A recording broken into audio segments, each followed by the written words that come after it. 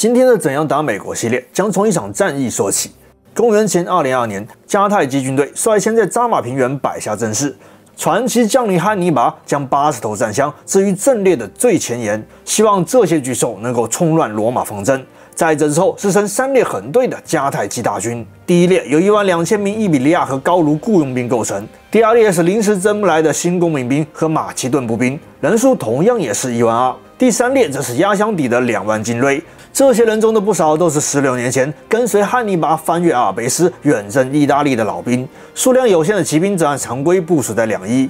罗马大军也很快开进战场，CPR 同样以经典的罗马三线阵迎敌。第一列青年兵，第二列壮年兵，第三列为精锐步兵，每列的人数都是一万人。此外，两千罗马骑兵和四千卢米底亚骑兵分列左右翼。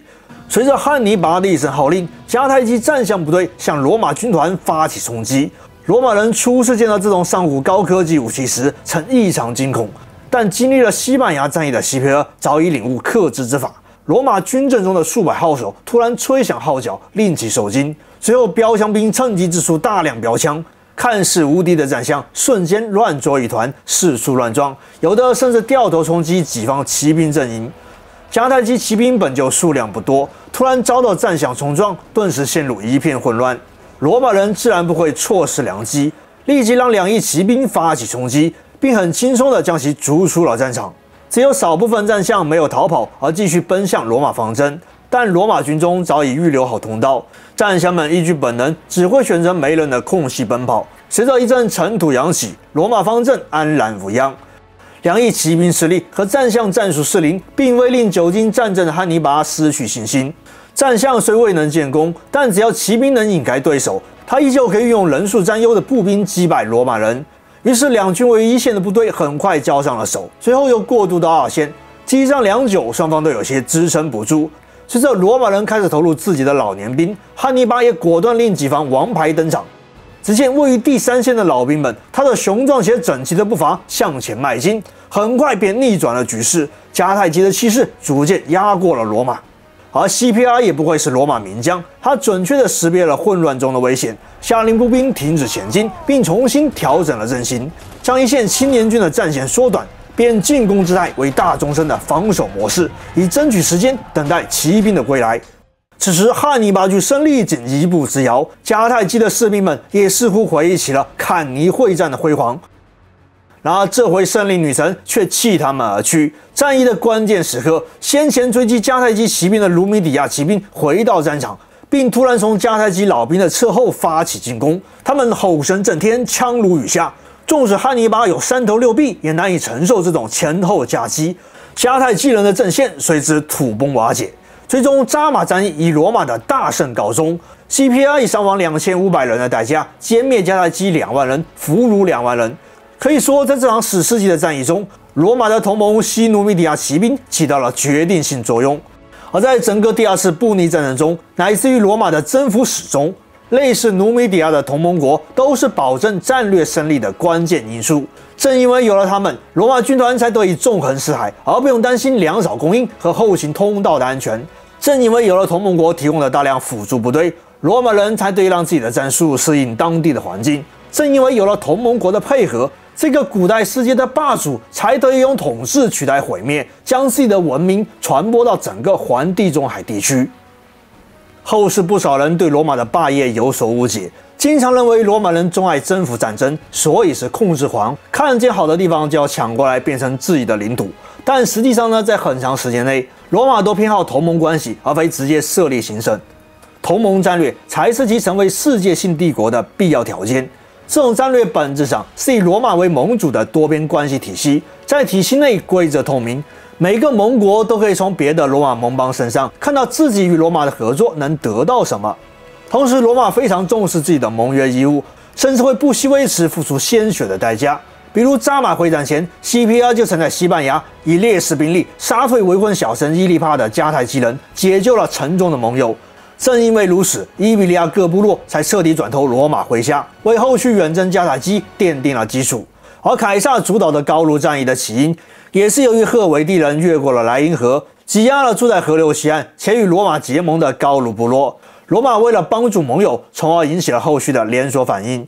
此外，同盟体系还是一个利益共享机制，在同盟体系内的每个参与者都可以凭借自己为同盟做出的贡献而得到相应的回报，是一荣俱荣，一损俱损。这也就是为何汉尼拔可以在意大利半岛纵横十数载，前后歼灭罗马近二十万胜利军，但却无法撼动罗马的根基。最后，除非是涉及国运的生死之争，例如与迦太基之间的三次大战。在绝大多数情况下，罗马都会维护战败者的尊严，只做有限度的惩罚，然后运用同盟体系来同化战败者。所谓胡萝卜加大棒，恩威并施事业。好了，可能有些观众会觉得奇怪啊，今天的标题不是说美国的盟国体系吗？怎么扯到两千多年前的罗马去了呢？诶，虽然我是个金罗呀，但这可不是我故意跑题。你把上面的这些标准。个的往二战后的美国身上套，保证绝对毫无违和感。美国啊，就是咱们这个时代的罗马，它得以支配这个世界，凭借的也是其遍布全球的盟国体系。所以翻开现在中国官媒的宣传稿，最经常谴责的就是美国对的盟友分亲疏远近。笑话，它当然得分呐！体系的建立就意味着其中必有规则。当年的罗马就是把盟友圈分成三个层级，最内层自然是拉丁同盟，这些盟邦与罗马人的语言、风俗和宗教信仰大体相同，基本上像是一个国家。第二层是意大利同盟，指的是意大利半岛上除拉丁部落之外，其余的同盟城市或同盟国，比如半岛中部的伊特鲁里亚城邦和半岛南部的希腊殖民地，他们在文化和血缘上相对第一层要疏远一些。但共享同样的价值观和利益体系，而第三层就是半岛外的盟国，比如前面提到的卢米底亚以及希腊和小亚细亚诸邦，这些国家的质量就有些参差不齐了，但大体上都能遵循罗马的这套规则。而回到当代，虽然没有任何文件可以明确说明，但美国的盟友大体上也能分为三个层级，第一层可以叫做六位一体。继美国、英国、加拿大、新西兰、澳大利亚这五个昂萨后裔组成的国家，另外再加上个以色列，他们之间的关系就不用我多说了吧，可以算是不分你我了。这里面比较特殊的是以色列，因为其他的国家与美国的地位比较好区分，谁是大哥，谁是小弟，喊一嗓子基本上就能知道。但以色列和美国的关系，谁是谁爸爸，这都不一定的。这六位一体的第一层，在人口上仅占世界的百分之六点二，但 GDP 上的占比却超过百分之二十，整体军费占比更是超过百分之三十二。可以说呢，这一层就是美国的力量源泉。第二层，我认为是欧洲民主国家加东亚的日韩。这里我故意没有说北约，那是因为啊，有些欧洲小国即便单方面宣布中立，但私下也与美国或其他北约国家保持长期且密切的军事合作。比如没加入北约之前的瑞典和芬兰，当初普京叫嚣着谁敢入北约我就打谁，但到最后也就不了了之了。他再猖狂也明白这两个国家是他绝对动不了的。实际上，自古以来，美欧之间特殊的跨大西洋关系就是二者间最重要的对外关系。两次世界大战，美国都救欧洲于水火，可以说啊，这片江山就是山姆大叔用鲜血与汗水打下来的。东亚这边，日本与韩国的情况也比较类似，他们都共享一套政治体制和价值观，区别无非是新旧之分罢了。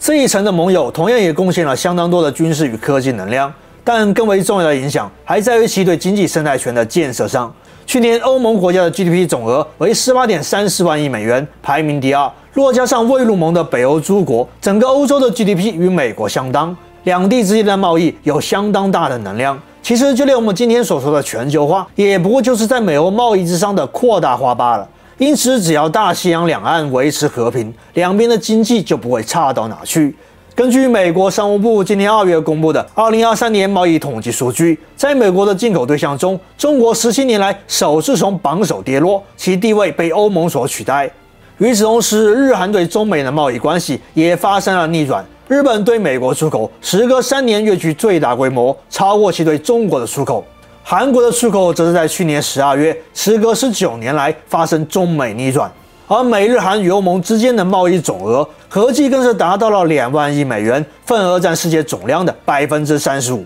所以现在西方常说的去风险化，并不是要摧毁好不容易建立起来的全球化贸易体系，而是让这个贸易体系回归到令美国这些盟友获益的规则之下。而在最外层，则是政治风向型的盟友了。在数字上，他们参差不齐，政治体制和价值观更是天差地别。这里面既有印度这样的地缘政治新规，也有海湾的那一堆酋长国，更有像菲律宾这种基本没有自卫能力的穷国小国。因此，不管是美国国内还是在国外，对体系质疑最多的就是集中在这一块了。保守的孤立主义者认为，把钱花在这些国家上简直是无底洞，根本收不回任何回报。国外的反对者则把美国在这些地区的军事存在看作是帝国主义行径。确实，如果从经济效益的角度来说，第三层完全不如前两层，但他们却是美国全球力量投射的体现，也是地区安全稳定的保证，更是美国掌控这些盟国的筹码。例如，美国在中东的七个国家拥有军事基地，其中最大的一座是卡塔尔的乌代德，其拥有超过四千五百米的跑道，可起降所有类型的美国军机，建有三个钢筋混凝土大型地下机库，每个机库都可容纳四十架战机。入驻此地的第三七九联队是美国空军中规模最大、机型最多样的远征联队，拥有包括 B-1B 枪骑兵在内的数百架战机。同时，基地内还有耗资六千万美元修建的战情指挥中心，可协调和指挥在周边十八个国家活动的美国或盟国的空中力量。前段时间拦截伊朗导弹的行动，背后设在这里的美国中央司令部统一调度。而最为关键的是，美国在这里不仅不用花钱，反而是挣钱的。前几年，卡塔尔与其他阿拉伯国家的关系闹僵，一时间陷入孤立无援的状态。为此，卡霍出积极拉拢与欧洲土耳其的关系，更是紧紧地抱住美国的大腿，花六十二亿美刀购买三十六架 F 十五 QA 战机，为乌代德基地升级基础设施，欢迎更多的美军入驻。而就在今年，美卡两国达成协议，将乌代德空军基地的使用期限再延长十年。截至目前，美国在世界七十多个国家。维持着约八百个军事基地及军事设施，与数十个国家保持着军事同盟关系，并在超过一百五十个国家有军事存在。约二十四万的美军人员常驻世界各地。或许他们的角色各有不同，外界的评价也褒贬不一。但有一点是肯定的：当某一国发生动荡或美军打算撤离时，人们往往会不顾危险地涌向这些美军基地，祈求美国大兵能为之提供庇护。这样的景象，你绝对不会在俄罗斯、中国或伊朗的基地中看到。最近墙内好像嚷嚷着要打 S 三赛季，这边呢稍微解释一下，他们把游戏中的 S 一、S 二比喻成一战、二战，那么 S 三就是第三次世界大战。你说共青团这种宣传部门吹吹牛也就罢了，可很多底层韭菜也想借此来个咸鱼翻身。我得劝有这种想法的人一句：你绝对翻不了。暂且不论军事实力的对比。就假设你真的赢得了 S 三赛季，请问接下来要怎么办呢？是行郡县还是搞分封，亦或者是建立朝贡国体系二点零呢？中国所谓的经世之道，历经数千年，已经被证实只对东亚的某一部分人有效，根本没法扩展到全世界。